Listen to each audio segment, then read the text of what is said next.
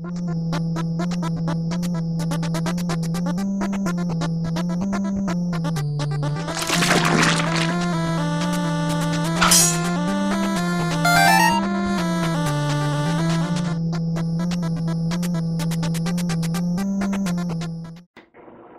fans, welcome to the DS. Today we're gonna make some fun crafts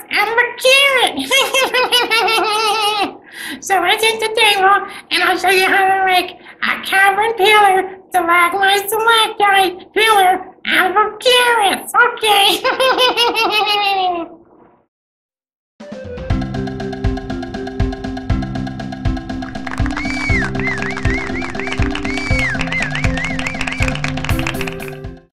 Okay, crafters, I promise no more talking like a rabbit uh, and no more scaring children, okay? So uh, here we go.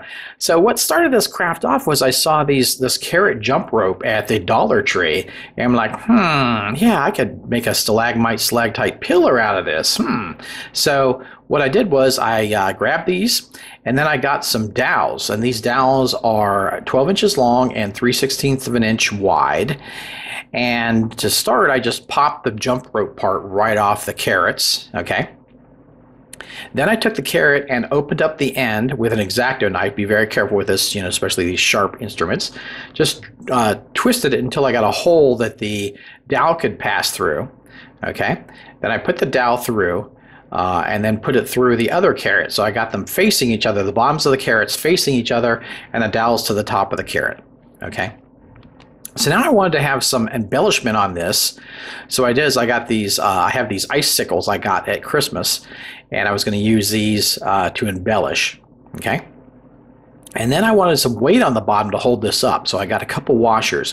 One is a two inch washer and the other one is an inch and a quarter washer. And I figured this would be enough weight to help hold this up. And so I glued the two washers together.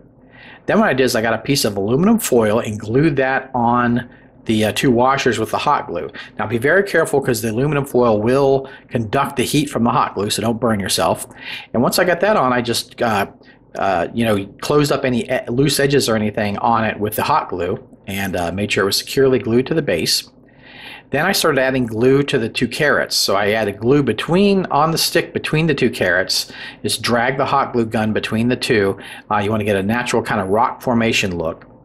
And then what I did was I took the hot glue gun and dragged it along the carrot. So I'd squirt some hot glue the length of the carrot and then drag it up and down.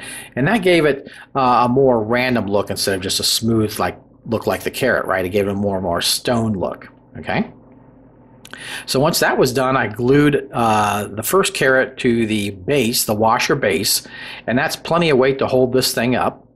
All right. So now those icicles I got, I wanted to have some extra stalactites and stalagmites hanging from the, the base and the uh, top. So I did is I cut them off with a wire cutter at various lengths. Okay, so they don't all look the same length. And then I glued a few to the base uh, of the first carrot with the washers. Okay. I cut out a piece of cardboard and then glued on, hot glued on the foil onto the cardboard. So I glued it on one side and then crumpled it up and glued it on the next one. If there are any loose foil edges or anything like that, you can use the hot glue to glue those down. Don't feel, don't, don't uh, worry about putting hot glue on the foil. It works great. So I covered up, you know, I put some more hot glue on the uh, foil itself because, uh, you know, foil doesn't take paint very well. So the, the more hot glue you add to it, the better. I didn't totally cover it with hot glue, but I added enough to, to keep it nice and secure. Okay. So now I glued the top carrot to that uh, cavern piece and then glued the uh, icicles coming down. So those will be nice, some nice uh, stalactites, right? So here's the whole thing. Uh, I got the top piece, the bigger piece there, and then the bottom piece is the washer piece. You can see I got the stalactites and stalagmites and the carrot and all that.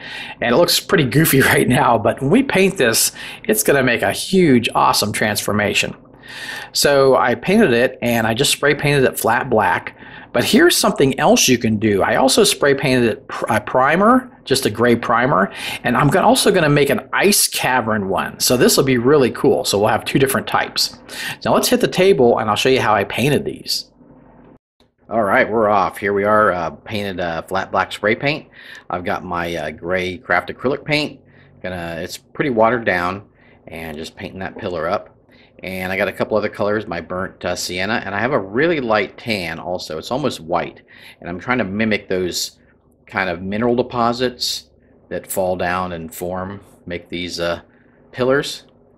And here I'm finishing up the pillar. Let's get some nice color variation on there. And uh, looking good, looking great. We'll let that dry. Now I got this pearl here, and this will give a nice pearlescence to those kind of mineral deposits, right, that make up this thing. So I'm not going to cover the whole thing with it, but kind of the areas where it's lightest, I'll put some of this uh, pearlescent. Gives a really nice kind of effect to this.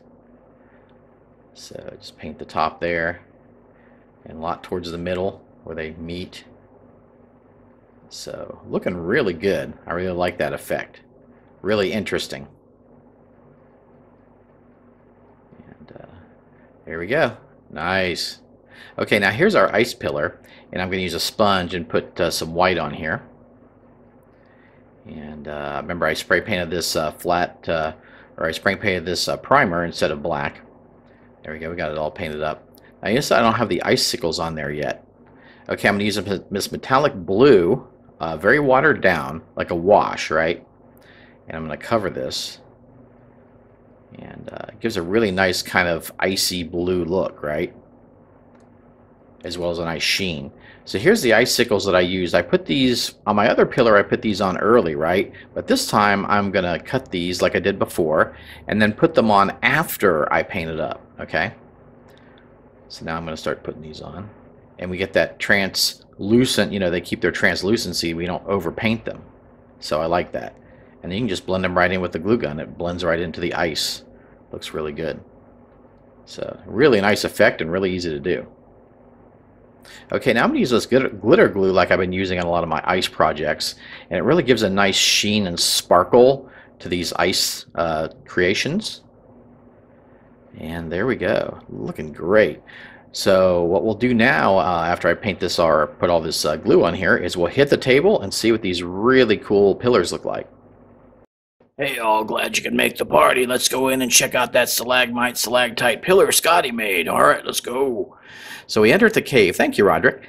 We enter the cave, and uh, you know these are a lot of other crafts I've done. Uh, you know you can see here, and uh, as we get to the central cave, uh, we can see Roderick sitting there waiting for us. Hey, Roderick, how's it going? Oh, great, damn Scotty. Check out this big pillar.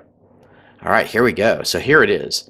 And there's the pillar in play. I think that is really cool. It really gives the, the cavern a sense of height.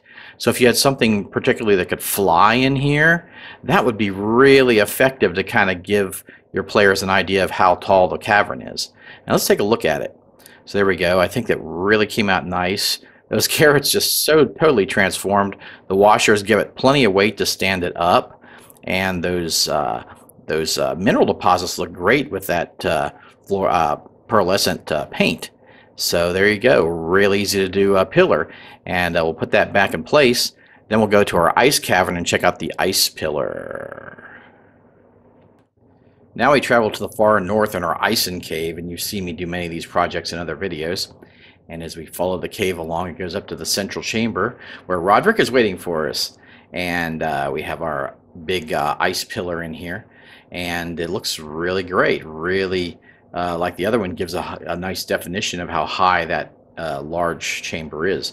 So we have our, uh, you know, our weights on the bottom, and uh, just that detail. I really like the icicles. They're translucent. You know, instead of painting them, we just uh, glued them on after we, we painted the project. So I really like that effect and thinks this, I think it's great. And I hope you guys enjoyed this craft and uh, have fun. Go forth and craft.